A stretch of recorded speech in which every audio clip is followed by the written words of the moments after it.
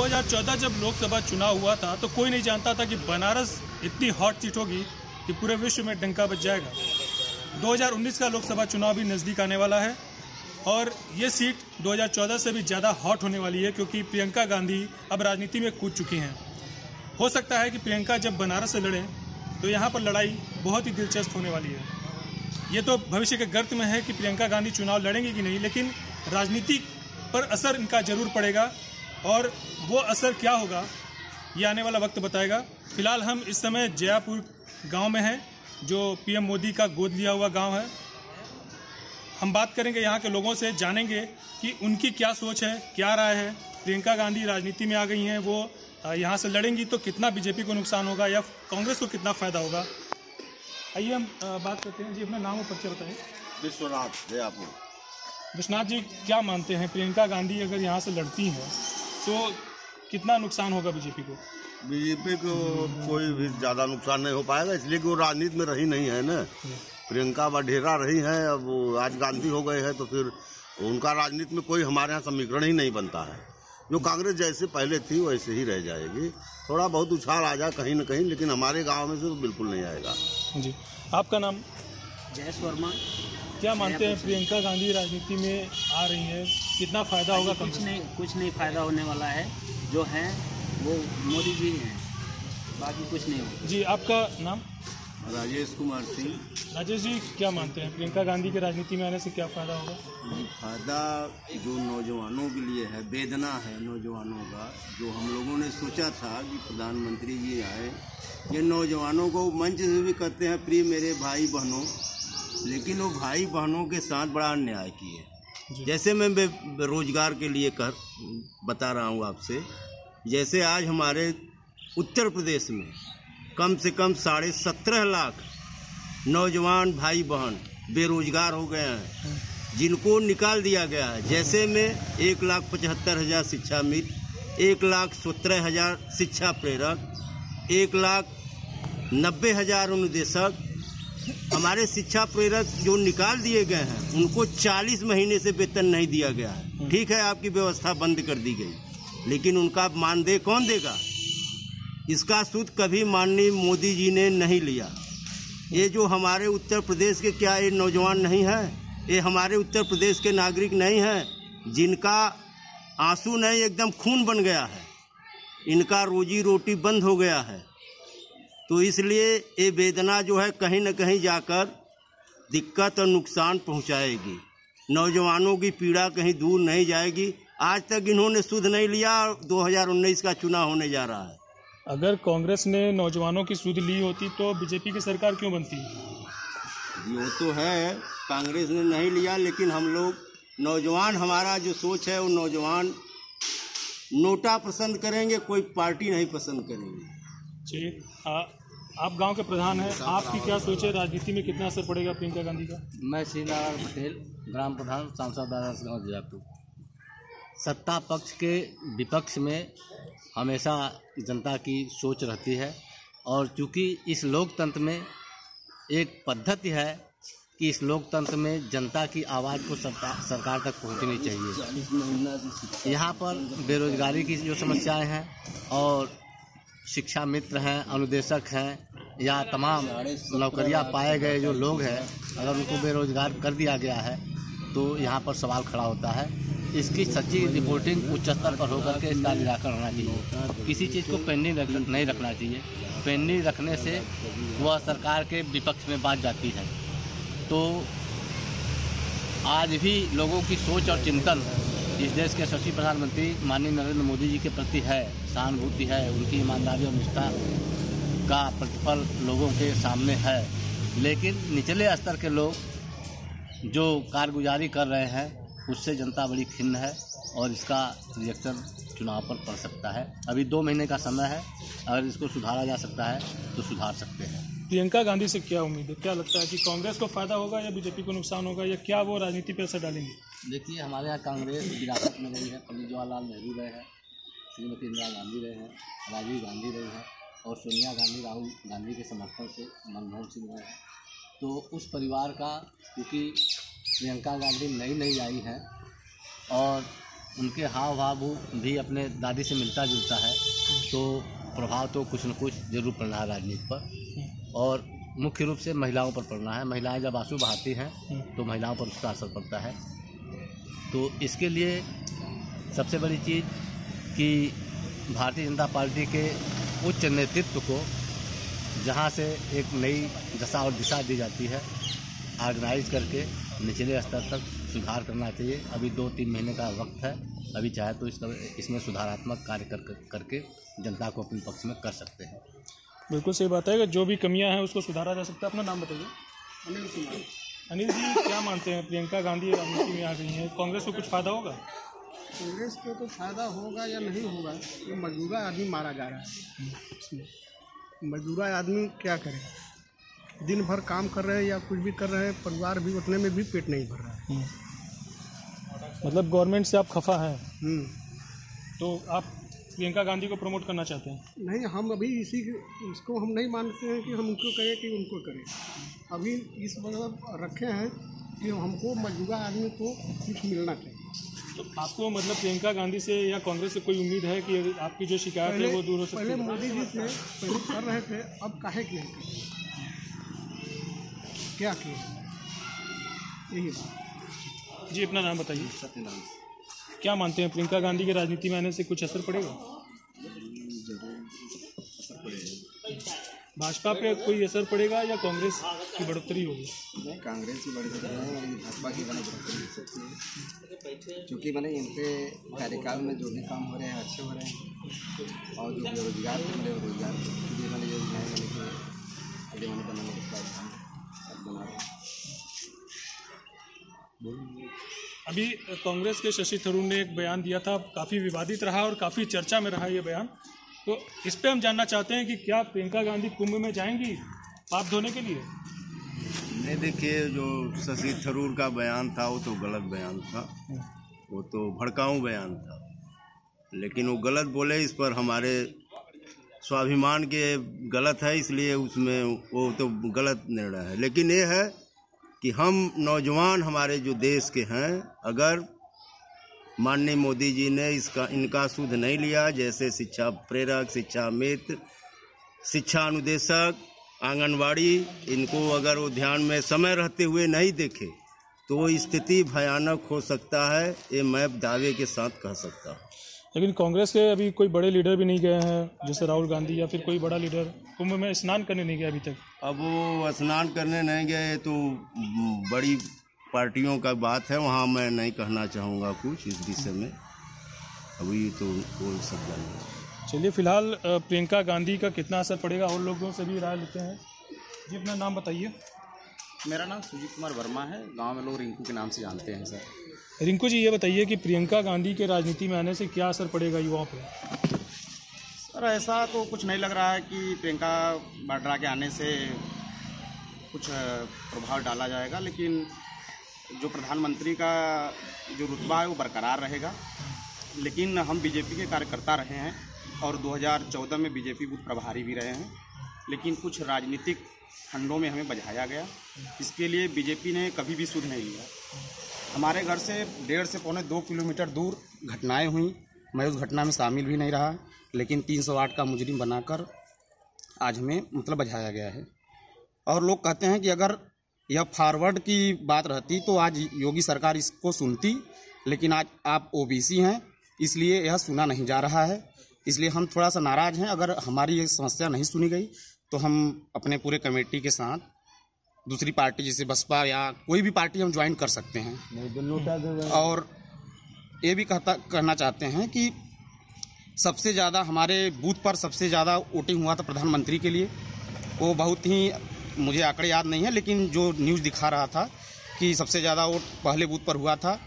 और हम यही चाहते हैं कि जो प्रधान नारायण पटेल और उनके पुत्र हैं और मैं डेढ़ किलोमीटर दूर हमारा घर है वार्ड नंबर एक में मुझे बझाया गया है, इस पर सरकार सुध ले, क्योंकि बेगुनाहों, एक किसान व्यक्ति परेशान हो रहा है, कोर्ट कचहरी के चक्कर काट रहा है। मेरा एक बच्चा विकलांग है, जो पहला बच्चा है, वो विकलांग है। तो मैं यही चाहूँगा कि एक असहाय व्यक्ति को क्यों फंसाया गया? इस पर क्यों सरकारें सुध नहीं ले रही हैं? प्रशासन भी घर से उठा ले जा रही है। तुम तीन सौ आठ के मुजरिम हो। प्रियंका प्रियंका से क्या उम्मीद है? उनके आने से नौजवानों को क्या फ़ायदा होगा? नहीं प्रियंका के आने से कोई फ़ायदा नहीं होगा। जो मोदी जी का हमारे वाराणसी के लोग और हमारे देश की जनता जो स्वागत कर रही है, वो करती रहेगी। जो उनका सोच देश के प्रति और प्रदेश के प्रति बहुत ही अच्छा रहा है। हम यही चाहते हैं कि जो राजनीतिक मुकदमे आप पेपर के माध्यम से होता है कि राजनीतिक मुकदमे वापस हो जाएँगे। तो राजनीतिक मुकदमे अभी तक वापस नहीं हुए हैं, तो हम कैसे कहें कि मतलब राजनीतिक मुकदमे वापस हुए हैं? तो हम आप लोगों के माध्यम से न्यूज़ चैनलों के माध्यम से चाहते हैं कि आप लोग गुजारिश करें कि जो व्यक्ति बेवजह का फंसाया गया है कोई जाप कर रहा है वो भी आज घर पे बैठा है कि आपके ऊपर धाराएँ लग गई है आप घर पे रहोगे। हम और भी बात करेंगे लोगों से लेकिन वक्त हो गया है छोटे से ब्रेक का। ब्रेक के बाद फिर हाजिर होंगे पंचायत लाइव में।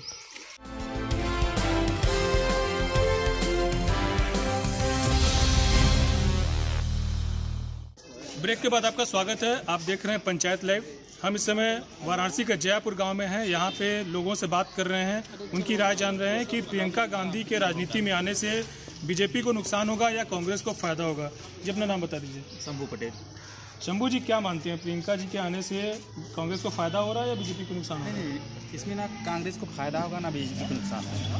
इसमें बीजेपी को ही फ़ायदा होगा क्योंकि मोदी जी बहुत काम कर रहे हैं। मोदी जी बहुत काम कर रहे हैं लेकिन उनको मोदी जी को भी थोड़ा ध्यान देना पड़ेगा किसानों को और बेरोजगारी है ये सब थोड़ा देखना पड़ेगा। जी अपना नाम बता दीजिए। आप थोड़ा लेट से हैं। राजू। जी प्रियंका जी के आने से कांग्रेस को फ़ायदा होगा या बीजेपी को नुकसान बीजेपी का नुकसान कहीं से नहीं होगा सर। चाहे प्रियंका जी आए चाहे कोई जी आए क्योंकि जो करके इन्होंने साढ़े चार साल में दिखा दिया वो कोई करने वाला नहीं है। ऐसा प्रधानमंत्री न तो भविष्य में पीछे कहीं नहीं था न तो आगे दिखाई दे रहा है कोई। प्रियंका जी प्रियंका गांधी को कांग्रेस प्रमोट कर रही है। कहीं ना कहीं एक चेहरा मान रही है उनको 2019 के चुनाव के लिए। तो उसका फ़ायदा कहीं ना कहीं हो रहा है हो रहा है कि नहीं हो रहा है कांग्रेस को कहीं नहीं फ़ायदा हो रहा है और नया नया चेहरा आता है तो लोग ज़रूर देखने के लिए भीड़ जाती है देखती है फिर चली जाती है और लोग जानते हैं कि कौन क्या कर सकता है। लेकिन अभी कुछ लोगों से बात हुई है उनका कहना है कि ज़मीनी स्तर पर बीजेपी फेल रही है ज़मीनी स्तर पर लोग नाराज़ हैं। नाराज़ नहीं है देखिए थोड़ा सा ये होता है कि ये अपनों ही लोगों से जो है नाराज़गी व्यक्त की जाती है मगर समय पर जो है जब देखेंगे समय जब नज़दीक आएगा ना तो आपको नाराज़गी कहीं नहीं दिखाई देगा। हमारे साथ कुछ और लोग हैं उनसे बात करते हैं। जी अपना नाम बता दीजिए। वर्मा आपका क्या मानना है प्रियंका गांधी के आने के बाद राजनीति में कुछ फेरबदल होगा? नहीं कुछ फेरबदल नहीं। है क्योंकि हमारे मोदी जी ने इतना डेवलप किया है कि कोई फेरबदल नहीं हो सकता है प्रियंका जी के आने से। वो स्टार प्रचारक के तौर पे काम कर सकती हैं कांग्रेस को कुछ फ़ायदा हो सकता है कुछ सीटें ज़्यादा नहीं कर सकती हैं? कुछ फ़र्क नहीं पड़ेगा कांग्रेस को भी नहीं फ़ायदा होने वाला है इसमें बीजेपी को कुछ फ़र्क नहीं पड़ेगा गठबंधन है गठबंधन से क्या कुछ फ़र्क आएगा? कांग्रेस को बेनिफिट हो सकता है। गठबंधन से भी कांग्रेस को कुछ बेनिफिट नहीं। कुछ नहीं। चलिए तो इनका मानना है कि प्रियंका गांधी के आने से कोई असर नहीं पड़ने वाला है। हमारे साथ बुज़ुर्ग हैं। दादाजी अपना नाम बता दीजिए। जयपुर राजापुर गाँव जयपुर जी। ये बताइए कि प्रियंका गांधी के आने से राजनीति में कुछ फ़र्क पड़ेगा? कोई फ़र्क नहीं पड़ेगा। क्या मानते हैं युवा युवा चेहरा है युवा हो सकता है आकर्षित हो उधर? कुछ भी हो जो सरकार इतना ढंग से चलाई है आज तक कोई नहीं चला पाया। हाँ। सरकार ने क्या किया आपके लिए? बहुत कुछ किया। लाइट दिया पानी दिया घर दिया मकान दिया बहुत कुछ दे दिया हमको। लेकिन किसान अभी भी नाराज़ हैं। भाई ये तो कुछ लोग नाराज़ रहते हैं कुछ लोग सही रहते हैं। ये तो दुनिया है। जी। आप सरकार से खुश हैं? हाँ हम खुश हैं। जी अपना नाम बता दीजिए। राजन सिंह जी आपको। राजन जी क्या मानते हैं? प्रियंका जी के आने से कुछ फेरबदल होगा? राजनीति में कुछ उतार चढ़ाव? जी नहीं। कांग्रेस को कोई फ़ायदा? अब हम अपने गाँव की बात बता सकते हैं। लेकिन हमारे गाँव में कोई फेरबदल नहीं होता है। प्रियंका गांधी के आने से युवा हो सकता है आकर्षित हो कांग्रेस की तरफ़ उनका रुझान हो। जी नहीं। ऐसा कुछ जी नहीं। उनका कोई पॉलिटिकल बैकग्राउंड इतना बड़ा पॉलिटिकल बैकग्राउंड उनका है तो उससे कुछ फ़ायदा हो सकता है? जी इतना हम नहीं बता पाएँगे। पर्सनली अपने गाँव के विषय में बता सकते हैं कि हमारे यहाँ मोदी जी ने ऐसा काम किया कि हमारे गाँव का जो भी वोट है वो ज़्यादा तो होने को पड़ेगा। जी। अपना नाम बता दीजिए। क्या मानते हैं आप प्रियंका जी के आने से? क्या? प्रियंका जी ने आने से पहले जो मोदी के साथ है तो साथ रहे। उनके आने से कोई फ़ायदा नहीं होगा? नहीं कोई फ़ायदा नहीं है। जो बने हैं वो बने रहेंगे। राहुल गांधी को कुछ फ़ायदा हो सकता है? प्रियंका उनका प्रचार कर सकती है? प्रियंका से कुछ नहीं मिलेगा। आपका नाम क्या है? मुकेश मरोना मुकेश जी क्या मानते हैं आप? सर प्रियंका गांधी से आने से मुझे नहीं लगता है कुछ है। मोदी जी डेवलप है और कुछ कर सकते हैं बेटर लेकिन युवा लोगों पर ध्यान नहीं दे रहे हैं और अधिक बेटर हो सकता है बट वो नहीं लेकिन हम लोग हैं मोदी सपोर्ट चलिए तो युवाओं का मानना है कि प्रियंका गांधी के आने से कोई फ़ायदा नहीं होने वाला है। न तो उनको होगा न तो कांग्रेस पार्टी होगा न तो राहुल गांधी को होना है। फ़िलहाल बीजेपी से यहाँ के लोग तो काफ़ी खुश हैं। बीजेपी के काम से लो, लोगों का कहना है कि घर मकान बिजली सब कुछ मिला है। तो लिहाजा इस गाँव में तो लोगों का मानना है कि प्रियंका गांधी से कोई फ़ायदा नहीं है। और लोग भी हैं हमारे साथ उनसे हम बात करेंगे। जी अपना नाम बताइए। उपेंद्र कुमार पटेल। उपेंद्र जी क्या मानते हैं? प्रियंका गांधी के आने से कुछ फ़ायदा है? बिल्कुल कुछ भी फ़ायदा नहीं है। मोदी जी ने जो इतना बढ़िया काम किया देश को जो कि दसवें नंबर से छठवें नंबर पर ला दिया सर्जिकल स्ट्राइक लाया तीन लाख कंपनियों को उन्होंने बंद कर दिया। सब जितने भी फर्जीवाड़े थे बीच के सब खत्म हो गए हैं। अभी साढ़े चार साल में कहीं बम ब्लास्ट नहीं हुआ है। पिछली गवर्नमेंट में यहाँ बम ब्लास्ट वहाँ बम ब्लास्ट। और क्या हुआ कि वहाँ पाकिस्तान के बॉर्डर से सिर कटा हुआ लेके चले आओ गवर्नमेंट का तीसरा उसको दे दो उठा के। अब ये सब सारी चीज़ें बंद हो गई है। अब धीरे धीरे जो मोदी जी सुधारेंगे। अभी तो साढ़े चार साल हुआ है। बाकी उनको एक साल और मौका दिया जाए। दो बार और सुधर जाएगा देश। अभी देश के लिए सोचा जाए अपने लिए तो अभी अपने आप पे सोचेंगे तो बहुत सारी कमियाँ हैं। मगर अभी देश के लिए देश की तरक्की के लिए सोचा जा रहा है तो ठीक है। इसलिए मोदी बेस्ट। आपको क्या लगता है प्रियंका गांधी को लाया गया है कांग्रेस के लिए कि राहुल गांधी अपने लिए लाए हैं खुद को प्रमोट करने के लिए? वो अपने लिए लाए खुद को प्रमोट करेंगे ठीक है। जी अपना नाम बता दीजिए दादाजी। मेरा नाम लाल सिंह क्या मानते हैं प्रियंका गांधी राजनीति में आ गई हैं? कुछ फ़ायदा होगा कांग्रेस को? कोई फ़ायदा नहीं होगा कोई फ़ायदा नहीं बीजेपी को कोई नुकसान? बीजेपी को कोई यहाँ से नुकसान नहीं। यह थोड़ा सा जीएसटी का असर पड़ा है। इसको सम सोचना पड़ेगा। इसको जीएसटी को हटा देना चाहिए। जी। जीएसटी बहुत नुकसान हो रहा है जीएसटी से। कारोबार में अच्छे अच्छे कारोबार वाले सब भेज रहे हैं धंधा चौके किसान किसानों की क्या स्थिति है? किसान खुश हैं बीजेपी से? किसान तो खैर खुश हैं। किसान खुश। लेकिन पिछले जो तीन राज्यों में हार हुई है बीजेपी की वहाँ पे किसान किसान नाराज़ थे। हाँ, हो सकता है नाराज़ होंगे। लेकिन विधानसभा में कुछ गड़बड़ी हुई है लेकिन लोकसभा में मोदी जी को शांति है इसलिए विधानसभा में गड़बड़ी थी इसलिए तीन राज्यों में हार का सामना करना पड़ा था। लेकिन लोकसभा में लोग चाहते हैं कि लोकसभा में एक बार फिर बीजेपी आए मोदी प्रधानमंत्री बने। आपका क्या मानना है? एकदम मोदी जी आना ही चाहिए। मोदी जी को आना चाहिए। हम लोग सभी सहमत हैं पूरे गाँव सहमत है। और ये तो यहाँ पे गाँव पे रह करके सब लोग देखते हैं और इनका बुराई उनका बुराई करते हैं। बाहर जा कर के देखें फिर सबको मालूम पड़ जाएगा कि हाँ कौन है मोदी जी? बहुत ही अच्छा। तो प्रियंका जी आ गई हैं तो कहीं बिल्कुल ऐसा- नहीं। कांग्रेस को तो लाना नहीं वो हमारा परिवार नहीं चलेगा। खाली परिवारवाद नहीं चलेगा। कांग्रेस परिवारवाद कर रही है।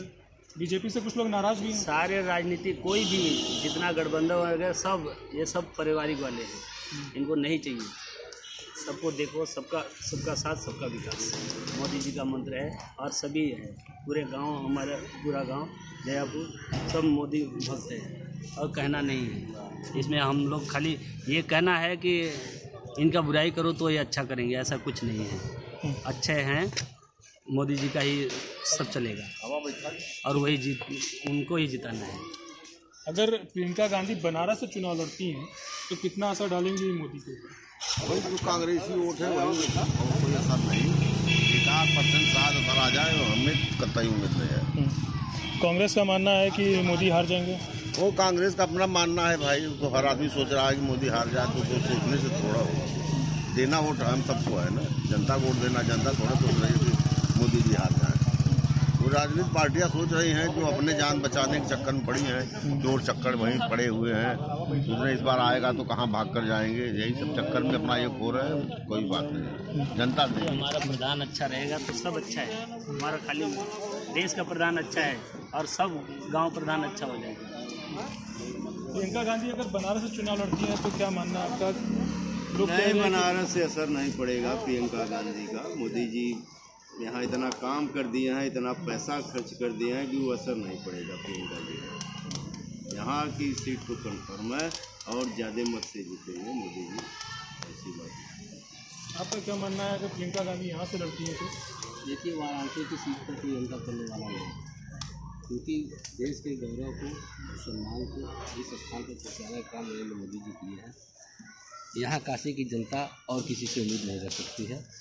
और यहाँ किसी के भी आने से प्रियंका या किसी के आने से कोई प्रभाव नहीं पड़ेगा।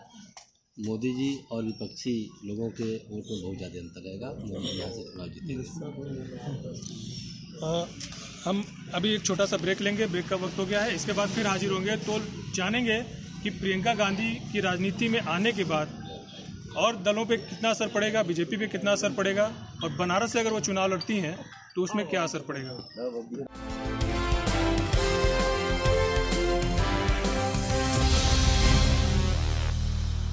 के बाद आपका स्वागत है पंचायत लाइव में। हम इस समय जयापुर में हैं। बात करते हैं कि प्रियंका गांधी की राजनीति में कितना योगदान रहा है। जी, प्रियंका गांधी का नया नया राजनीति में आना जनता के लिए बहुत बड़ा योगदान नहीं है, क्योंकि प्रियंका गांधी का योगदान जनता के लिए नहीं हुआ है। और चूँकि कांग्रेस चुनाव लड़ती है और बसपा सपा मिलकर गठबंधन से चुनाव लड़ती है तो इससे बीजेपी को ही फ़ायदा होना है। अगर प्रियंका गांधी का प्रभाव ज़्यादा बढ़ेगा और वोट का डिवाइडेशन होगा तो बीजेपी जितना सीटों से आगे जाना उसे अधिक सीटों से उत्तर प्रदेश में आगे जाएगी। आपका क्या मानना है कि प्रियंका गांधी का कितना योगदान रहा है राजनीति में?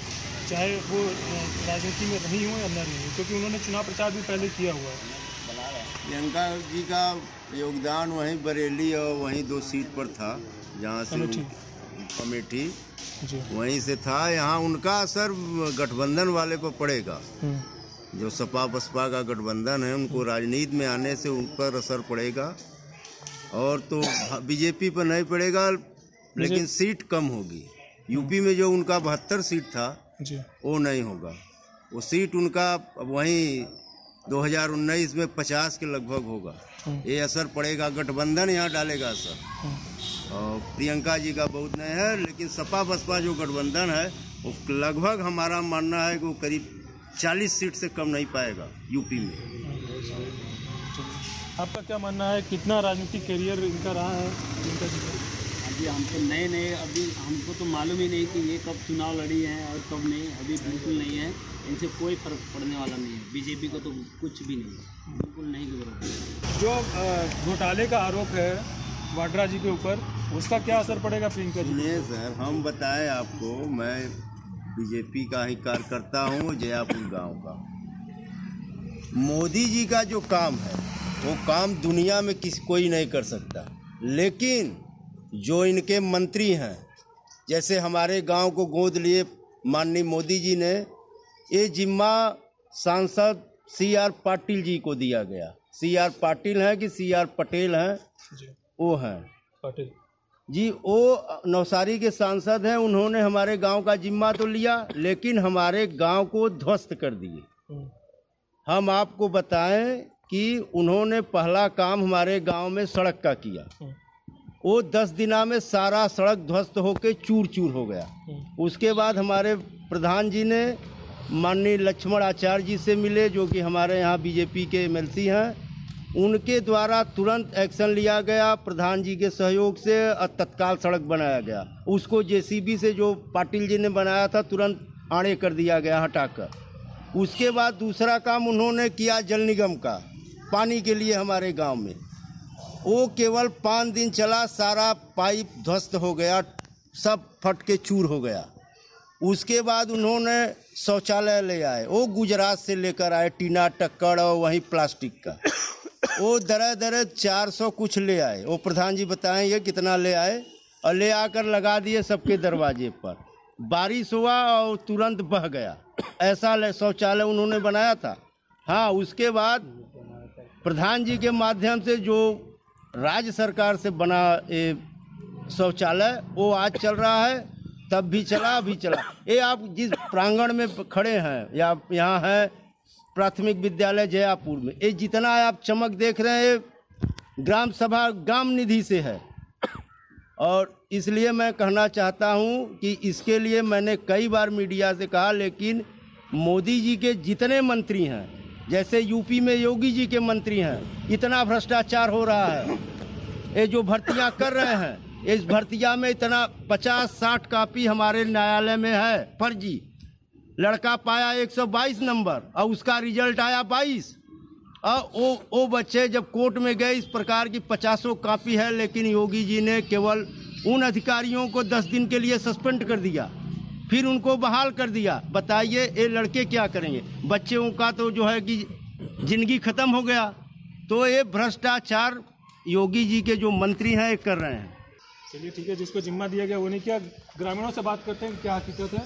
गाँव का जो विकास हुआ है, उससे आप संतुष्ट हैं? बिल्कुल संतुष्ट थोड़ा सा कुछ रह गया है कसम तो हंड्रेड परसेंट अभी एकाएक कहाँ से हो जाए? सारे गाँव को देखना है पूरे देश को देखना है ना? कि व्यक्तिगत एक गाँव के ही ऊपर पूरा जितना है सब कुछ एक गाँव के ऊपर एक स्मार्ट करके पूरा देश स्मार्ट तो हो नहीं जाएगा। जी।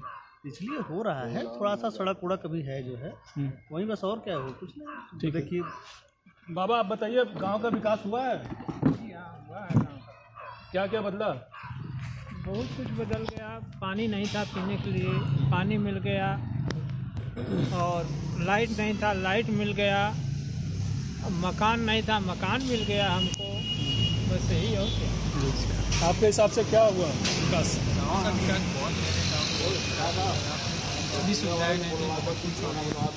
बहुत गया मतलब जितनी कामना नहीं किए होंगे, उससे ज़्यादा गाँव का विकास हो गया मेरे।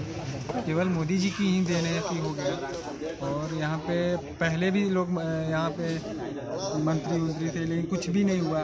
बगल के मेरे सुरेंद्र पटेल जी थे, वो कुछ नहीं करवाए जयपुर के लिए। और मोदी जी के आने के बाद बहुत कुछ हो गया गाँव में यहाँ पे मेरे। सभी, सब कुछ व्यवस्थाएँ हो गई यहाँ पे। तो गाँव का तो विकास हुआ, बीजेपी ने कराया, मोदी जी ने कराया।